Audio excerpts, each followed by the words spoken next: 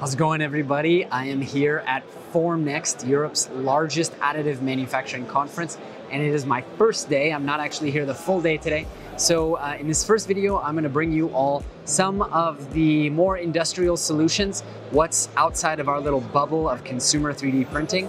So enjoy this quick uh, reel, if you will, of all the different things that I saw on my first day here at Formnext.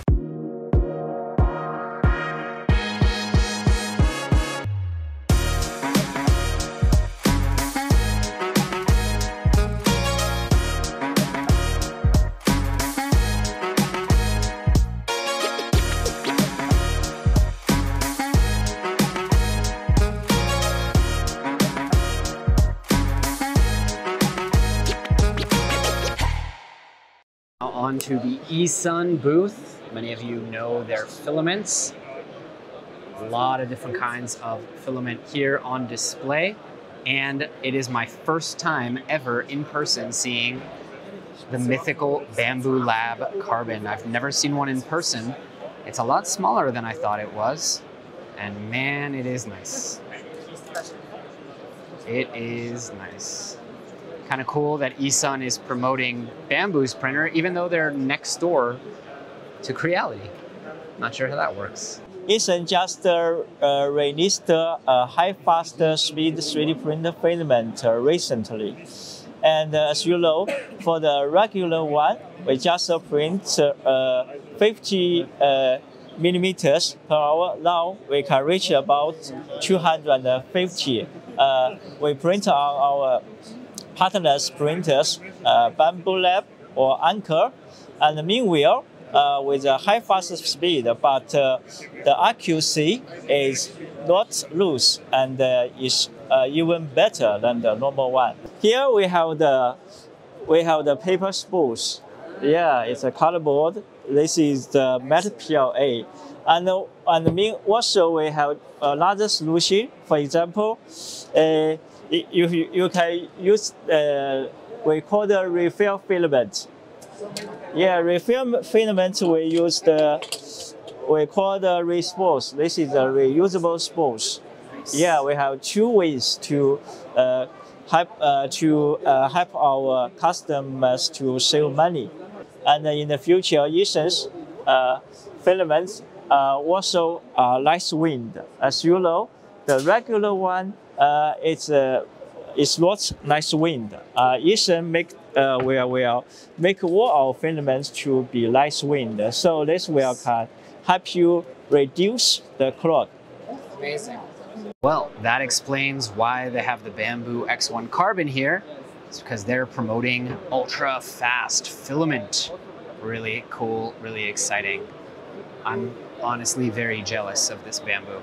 It's so much smaller than I thought. And wow, it is nice looking. Okay, let's stop fantasizing about the Bambu.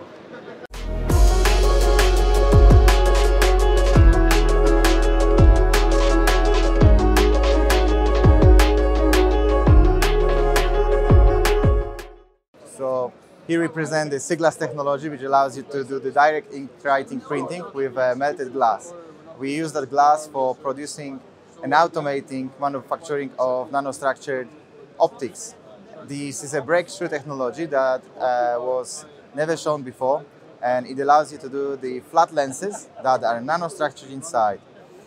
That means that the light is following the gradients of the refractivity indexes. And how we can achieve that and how we can automate this process is by applying the melted glass in a special pattern and then bringing it to the drawing tower machine to be left over with the final product, which is a fiber optic. Here we present the first demonstrator that contains the top hat fiber optic for better power distribution in the lasers. But you could do many more. For example, in the medical applications, you could uh, create a fiber optic that is resonating with the cancer tissue. So you put that fiber optic inside the needle, uh, you, you put it in the patient, and then you can see if the cancer tissue is resonating, then you just detected the cancer, but and, and saved around two weeks' time for taking the flesh out, sending to the laboratory to the technician and waiting for a diagnosis.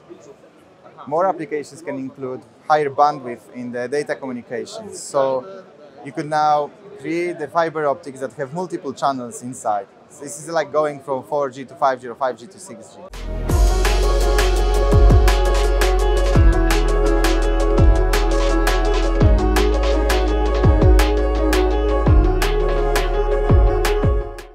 We are the manufacturer for the 3D printers and also filaments. And now I'm introducing the two colors in one dual color filament, which is very fancy and impressive for the models. You can see all the colors.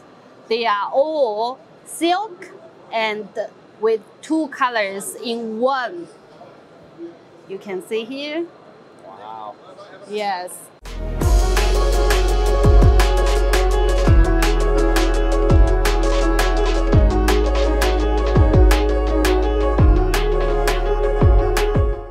My name is Thomas Batigne. I'm the current CEO of Lynxter, and uh, we are very thrilled to announce this new machine at Formnext. It's the 3 S300X. It's basically an IDEX 3D printer that's capable of printing liquids. So uh, we're talking about two-part silicones or polyurethane on the left, and a water-soluble uh, material on the right with a toolhead swap under three seconds capable of printing industrial grade and medical grade silicones and polyethanes. So it's basically game changing for um, surface treatment application that requires very soft masks, uh, but also dampers, orthotics, epithesis, uh, basically different soft uh, qualified uh, medical devices. So that's the port ratio for this machine. Uh, it's the little sister of the S600D, our legacy printer. The S600D that you can see just uh, on this side, which is the most versatile 3D printer on the market. It's a printer where you can change the tool heads um, and it's capable of handling filament tool heads, liquid tool heads and paste tool heads. So basically on the same machine you can print thermoplastics uh, such as polypropylene, polyamide carbon fiber, PEC, uh, TPUs, but also liquid materials such as two-part silicone as seen on the S300X, uh, polyurethanes, and finally pastes such as um, ceramic, traditional ceramics and technical ceramics, um, printing out of our material range that we release at Formnext as well. Uh, liquid material, filament material, pasty materials. Uh, but the machine remains open. Uh, so basically you can print whatever you want and tune the machine the way you want. It's an industrial machine uh, that is open and uh, and basically the S300X is the is the leader sister in a more compact form factor. How does printing silicon actually work? I thought you have to mix silicon.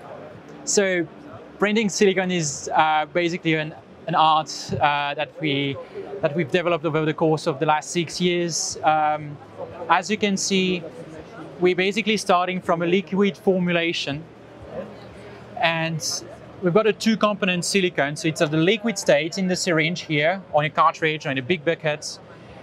And it's micro dispensed thanks to industrial pumps into a static mixer. The static mixer mixes A and B, starts the curing, starts the cross-linking process, and extrude a very thin line of silicone that's dense so we can peel up the layers.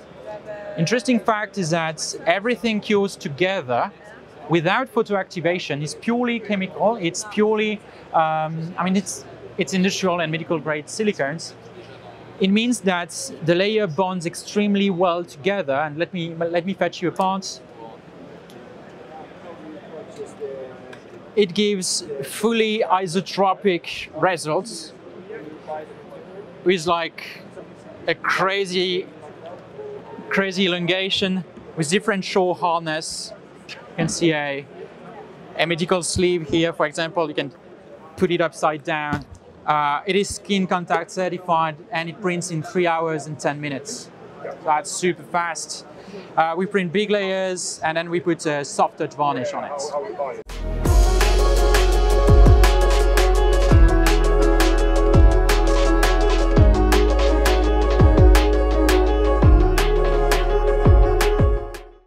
World's first directly printed 3D printed aligners. The, so the conventional way of making direct aligner or clear aligner is that you print the model which doesn't need to be safe or biocompatible. And then you vacuum form on top of it with plastic, generally PETG material, and then you get the thin clear liner.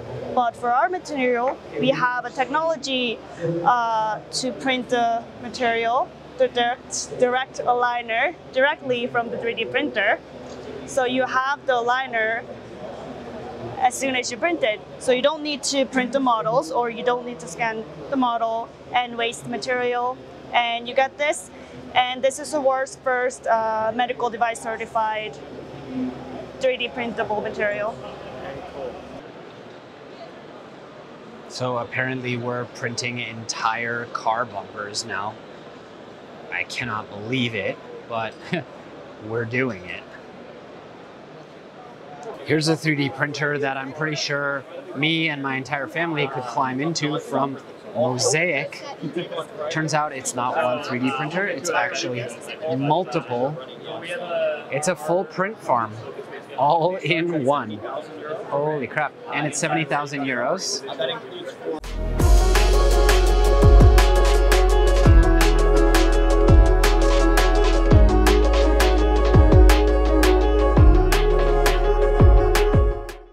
Creality is here. This is actually the first company that I've seen that I am familiar with their products. And it looks like eSun is right next door to them. Let's see what they brought with them today. Wow, look at the size of this CR-M4. 450 by 450 by 470 millimeter build volume. And yes, it is still a bed slinger. See how that works out for them, but it actually seems to be printing pretty fast. And I have to say that's probably the biggest bed slinger I've seen from a manufacturer and not custom made. Really impressive. And here is the Ender 3 V2 Neo.